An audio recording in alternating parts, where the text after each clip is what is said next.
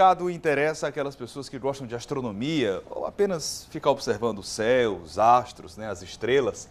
Nesse período do ano, pessoal, são comuns as chamadas chuvas de meteoros. Inclusive teve chuva de meteoro nessa madrugada, de ontem para hoje. Pois é, e com certeza uma turma de Sobral, Leal, ficou acordada a noite toda para conferir o fenômeno. São os alunos de uma escola pública que criaram um grupo só para estudar os meteoros. Vamos conferir.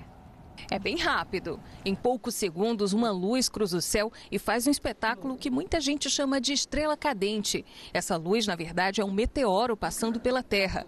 Mas não precisa medo. Na maioria das vezes, eles se desfazem ainda no ar e chegam aqui só como poeira.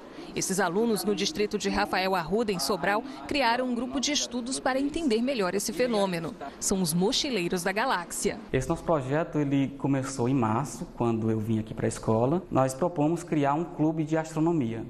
Nesse clube de astronomia, é bem aberto para os diversos temas e para as diversas áreas, não somente a astronomia fechada em si, mas a astrofísica e outras áreas da, da, astronomia. Atualmente, são 12 alunos do primeiro ao terceiro ano do ensino médio que se reúnem pelo menos duas vezes por semana para observar o céu. Tudo fica registrado e catalogado nos computadores do laboratório da escola e vira gráficos que ajudam em pesquisas. Sem a astronomia, você não consegue entender nada do que se passa no céu, o que você na verdade, não entende nada do que, que se passa, né? Vai te ajudar muito, no, caso, no meu caso, eu quero trabalhar com engenharia também. E na engenharia vai me ajudar a trabalhar muito, muito com programação. Com a ajuda do professor, os estudantes desvendam os mistérios que existem além do nosso céu. O equipamento para monitorar os meteoros foi doado por uma organização internacional de ciências, a ESOS. Eles receberam uma câmera que fica no telhado da escola e registra qualquer movimento. Além disso, os computadores têm um sistema de alta tecnologia usado no Japão e que ajuda a calcular e guardar todas as informações que eles precisam. Só nesses dois últimos meses, esses alunos conseguiram monitorar mais de 150 meteoros, que são fragmentos de rocha que ficam vagando pelo espaço.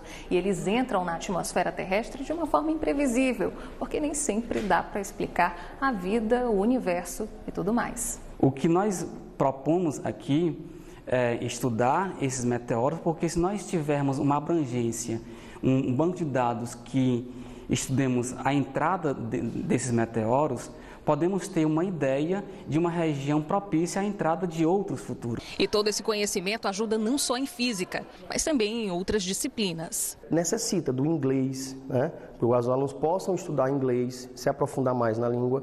Por quê? Porque todo programa computacional ele precisa de se saber inglês.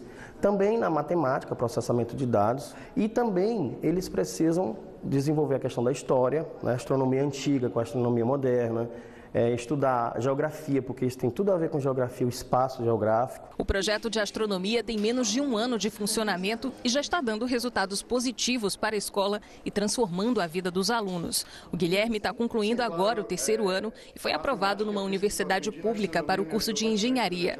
Dá para ver que ele vai longe. Apesar de não ser áreas tão relacionadas, mas ah, ainda tem como eu trabalhar em engenharia e focar na astronomia, porque, como eu disse, a astronomia é bastante interdisciplinar. Ou seja, se eu for um engenheiro, eu posso muito bem ajudar a construir, por exemplo, colônias e outros planetas no futuro, quem sabe, e tudo isso. E é claro que ainda continuando com o meu interesse pelos céus.